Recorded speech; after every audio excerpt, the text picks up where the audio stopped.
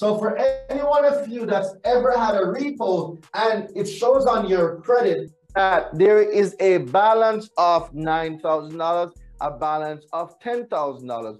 What this is called is the repossession deficiency balance, right? Now, I'm going to go more in details for that, and you're going to see that it comes with certain things that must be said in this letter.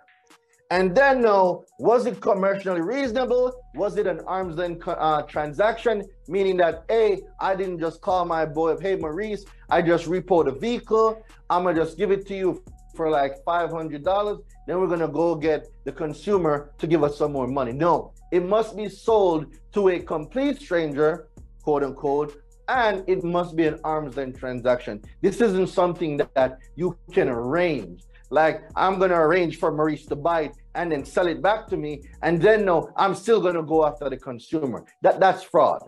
But these people are notorious for doing these things.